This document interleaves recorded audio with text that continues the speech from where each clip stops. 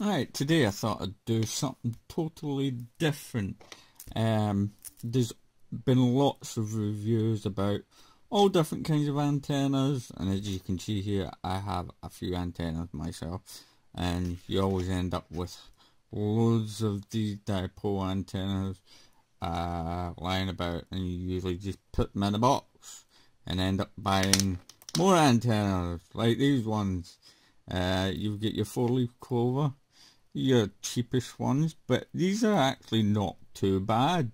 They're good for smaller quadcopters uh, where you want flexibility, you know. Um, I mean, they can take a hit or two until the the actual clover leaves start to bend, but they're not too bad. I, I've used it on the uh, the Rodeo 150 and I find it quite good you know so smaller quadcopters I would recommend these.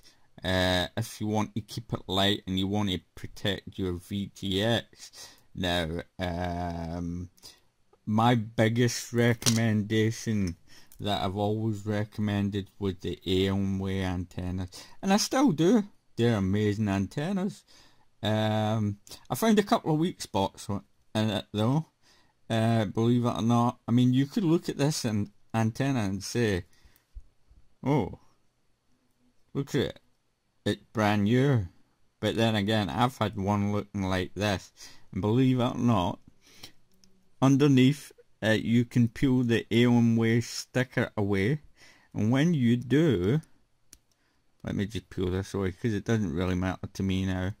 When you do pull this sticker away, let me just rip it off and show you. You will see the solder joint under there. Let me get the light. Why is my light never where I want it to be? You'll see where it's all soldered up under there, right? And it's also, they've put a little dab of gooey stuff here where it's soldered as well and I found myself with an the Aomway antenna, it looked brand new, and I'm getting a lot of signal breakup, and I'm going, what the hell is going on here, you know?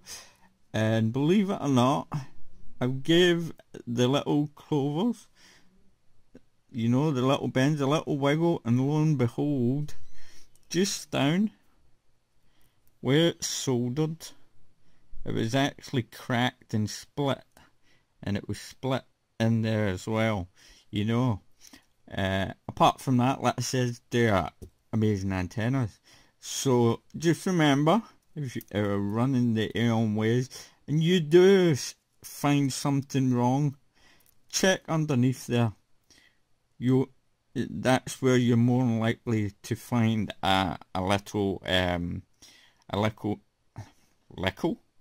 Say that again, and bite my tongue a little snap just under there where it's soldered. Just rip that uh, sticker off and double check up here. Just give them all a wiggle. Okay. Um. So I, I thought I'd get that out of the way. Now you've got your big fat shark antennas. You know, completely indestructible. Uh, I haven't used them very much to be truthful. Right, now I've got that out of the way. There's newer antennas coming into the market now. A lot of people are getting into diversity receivers and um, I had showed this in a video when I first got my Fat Shark uh, diversity module which is the Invader patch.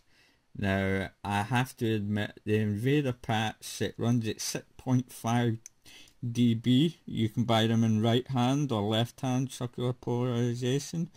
And this is a really good patch antenna. Um, I've heard other folks saying that it's just as good or the same as this uh, the mini SpiroNet uh, fat shark antenna and that's uh, uh, the SpiroNet one is uh, 8 dBi you know so and and the price for this comparing to the fat shark you can get this for nine pound ninety five pence from Menace RC or if you were to get the SpiroNet which is basically double the price um, uh, at 20 pound you know so uh, this is a bargain to get uh, and you can uh, uh, for you chaps in America you can get you can get it from uh, getfpv.com you can get it there for like $14 um, so I would highly recommend you get one of these uh, instead of the the spiral the mini SpiroNet uh, packs antennas because they do a really good job. Now I can't compare it because I don't have the SpiroNet ones. I'm just going by what I've read, what I've seen, and what I know. And for me, it does a really good job. Now, when you pick one of these up, you should uh, grab yourself a little extension now um, the little extension I got is a 5 centimeter SMA male to SMA female connector so I uh, just uh, connect it onto the back of the the PAX antenna bend it whatever way I want to and um, just hook it onto my goggles. And I always make sure well I don't know about you guys but I tend to face uh, I have my head pointed down the way when I'm flying with my goggles on.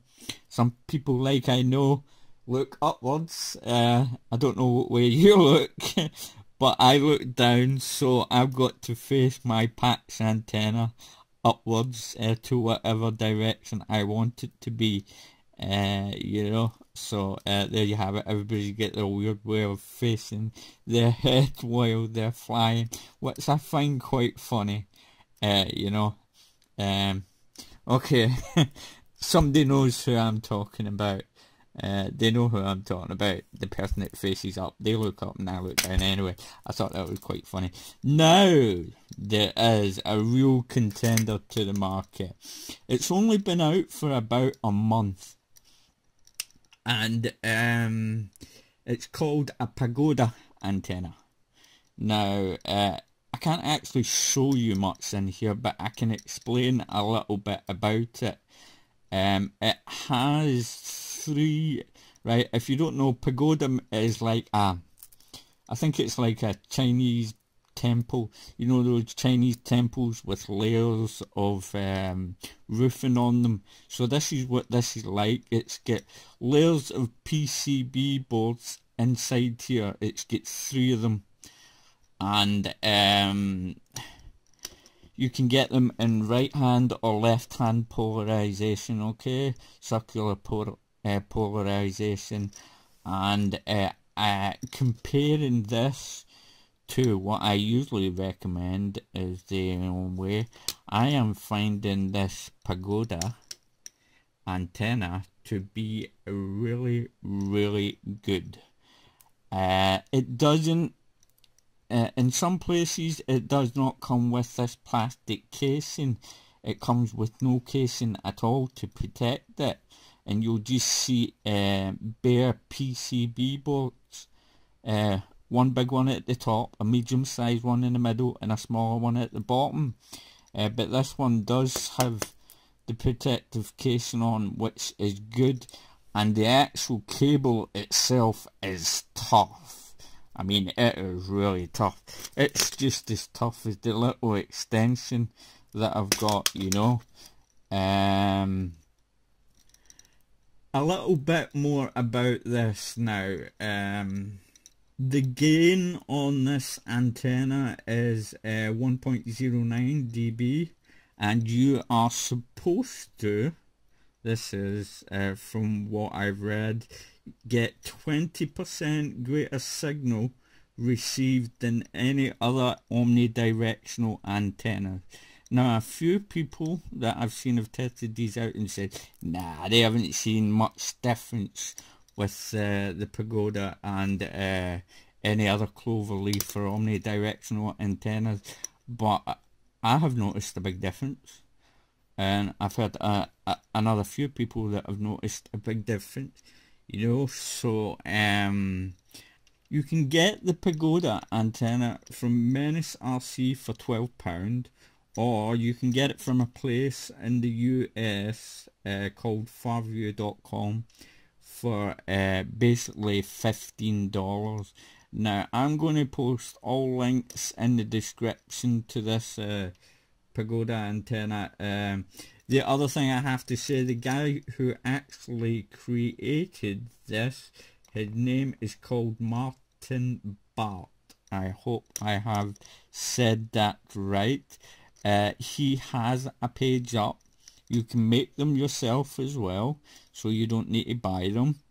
Uh, and they are a lot easier to make than a cloverleaf antennas.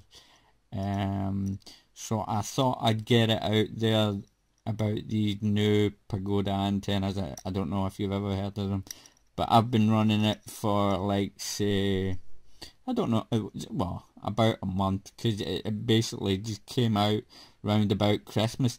I haven't put it on my quadcopter to fly. I've only used it on my goggles so I couldn't really tell you the durability of it on a quad when it crashes, but all I know is it is tough.